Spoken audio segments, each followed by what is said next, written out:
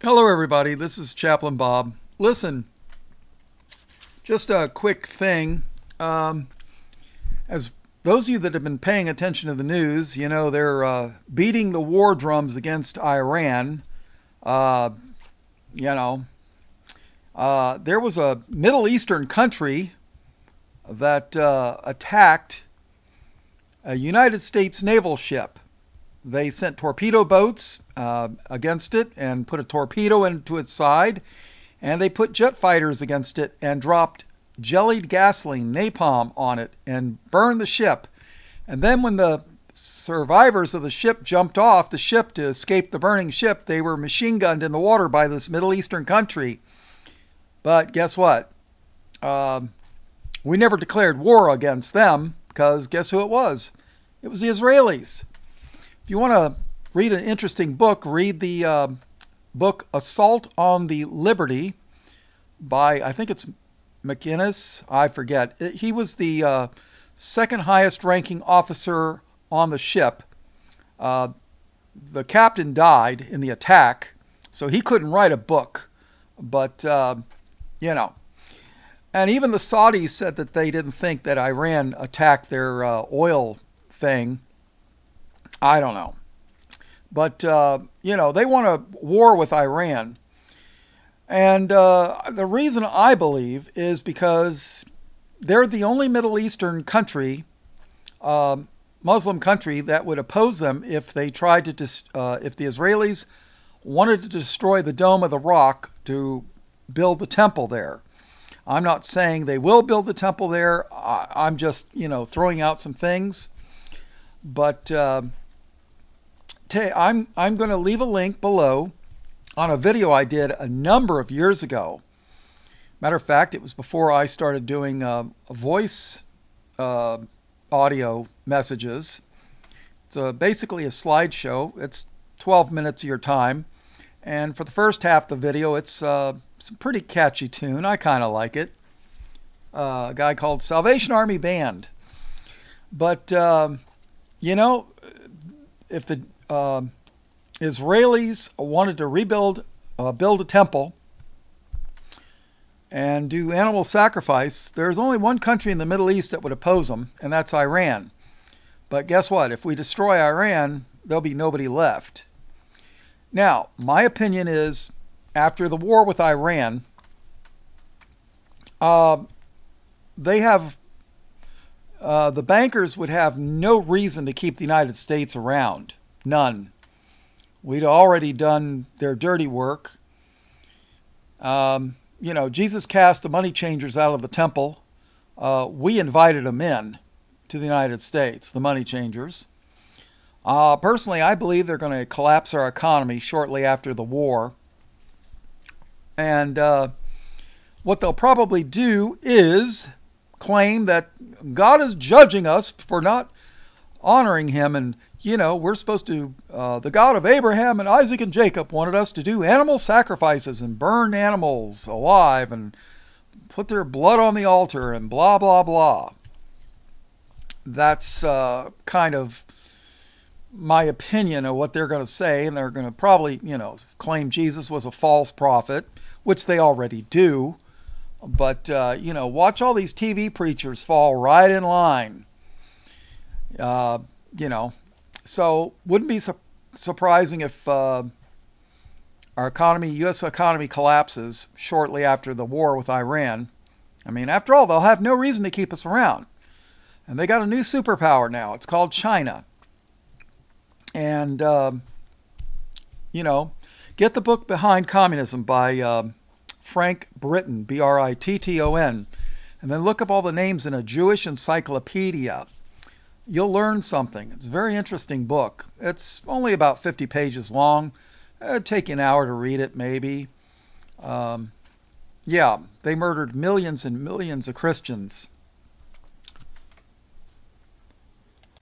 But, um, you know, every country that's ever gone to paper money, uh, their economies have collapsed every single time. Do you have any gold and silver in your wallet? I don't. Or in your pocket? I don't. Up until 1964, we had silver coins. Back then, a silver dime would buy two candy bars. How much is a candy bar now? $1.50? I don't know, something like that. Gas was a quarter a gallon. What's it now? $2.50? It's 10 times more now than it was in the early 70s. Um, yeah, my lifetime. I mean, I remember when I first got my driver's license, gas was a quarter. I could fill up my mother's Firebird for five bucks. Of course, back then I only made thirty-five dollars uh, an hour. I mean, uh, thirty-five. I made about thirty-five dollars a week after taxes at my minimum wage job full time. But guess what? I could have bought an ounce of gold for thirty-five dollars. What's an ounce of gold now? About fifteen hundred dollars, approximately. I don't know. I didn't check the spot prices, but you know, I I don't even make. I can't buy a, an ounce of gold with a week's salary now. No way and no way. It'd take me about a week and a half or two weeks. Yeah, about two weeks. Yeah. So I'm making about, according to the price of gold, I'm making probably less than half what I was at a minimum wage job in 73 or 72, I forget. Yeah, 72, whatever. Um, and what can I tell you? And back then, you could have got a brand new Volkswagen for about $2,000. Brand new. A bug, a beetle. Yeah. All right. Well, uh, uh, you know, but that's that's kind of how I look at things. They're going to destroy Iran, collapse the economy, usher in um, the Antichrist, the mark of the beast, six six six. I don't know. Take a look at my video. Uh, go to the description below, and you'll see uh, uh, a YouTube video.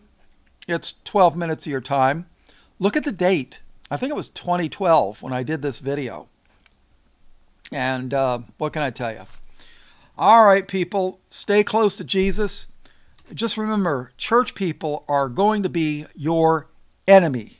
Zionistic church people are going to be your enemy. You know, you know the ones. They're the uh, the pre-trib rapture bunch, the ones that support the uh, Israelis. You know, that bunch. They're they're basically the enemy. They claim to love Jesus, but they love the people who curse Jesus. They love the people who hate Jesus. And they tell you that the antichrists are God's chosen people.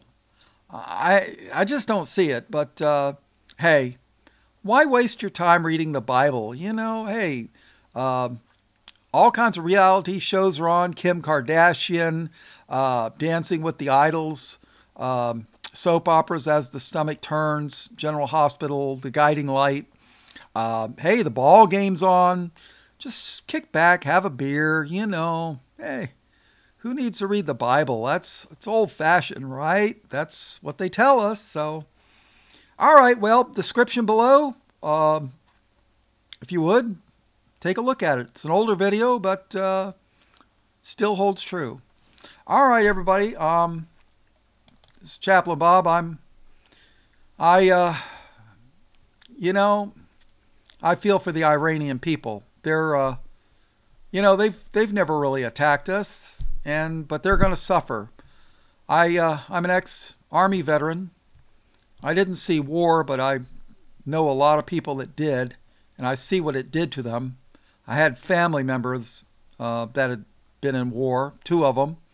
Dad was a World War II combat vet, and uh, my older brother, he was a Vietnam veteran.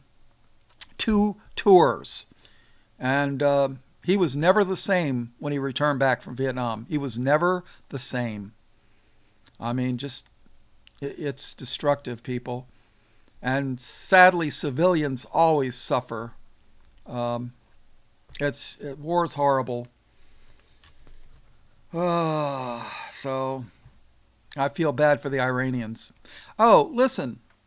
You know, when you read the book of Daniel at the end, when it talks about Cyrus, King Cyrus, and Darius, Darius, who um, allowed Judah to return back to Jerusalem to rebuild it, they were the Persians. Well, guess where Persia is today? Iran. The Iranians are probably the direct descendants of the people that allowed true Judah to return to the land and rebuild the temple. You can read about, you can read about that in the book of Ezra and in the book of Nehemiah. But, uh, you know, what do you expect? The uh, people that are over there now, the Chazars, uh, the Ashkenazi Nazi Jews, so called, the Antichrist, Israelis, um, they're not the people of the book, at least not my opinion. So, I don't know. Uh, I feel bad for the Iranian people. They're going to suffer horribly. We're going to destroy them, just like we did to the Iraqis. Oh, yeah. 9 11. Weapons of mass destruction. They're still looking for those weapons of mass destruction in Iraq. And Iraq had nothing to do with 9 11. Nothing. Hey, wait a minute. They, they keep telling us all the 9 11 hijackers were Saudis. How come we didn't bomb Saudi Arabia? Oh, that's right. They got oil and they're buying our war stuff. No, never mind. And they're probably the um, Ishmael cousins to the Edomites, if you catch my drift. So, all right, check out my video that's in the description box, the link before. I hope you'll take 12 minutes of your time and check it out. So, all right, Chaplain Bob signing off. All blessings, praise, glory, and honor to Jesus. Amen.